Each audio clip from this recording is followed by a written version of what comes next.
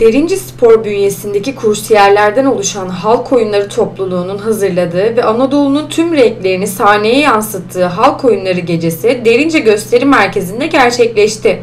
Derince Belediye Başkanı Zeki Aygün, AK Parti Derince İlçe Başkanı Koray Merdan, Derince Belediye Başkan Yardımcısı Kemal Bayraktar, meclis üyeleri, muhtarlar, siyasi parti temsilcileri ve sanatseverlerin yoğun ilgi gösterdiği halk oyunları gecesinde Anadolu tüm güzellikleriyle birlikte Derinceliler buluştu. Derince Belediye Başkanı Zeki Aygün ise yaptığı konuşmada görev yaptığımız 4,5 yıllık süre içerisinde her zaman sanatsal, kültürel ve sportif faaliyetleri destekledik dedi. Protokol konuşmalarının ardından başlayan halk oyunları gecesi renkli görüntülere sahne olurken Anadolu'nun güzelliğini geniş bir yelpazede ilçe halkıyla buluşturdu.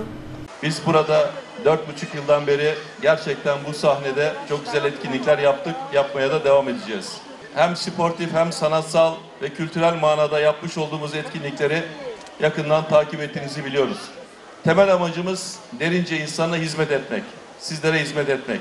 Biz de bu faaliyetleri karınca kararınca yapmaya devam ediyoruz.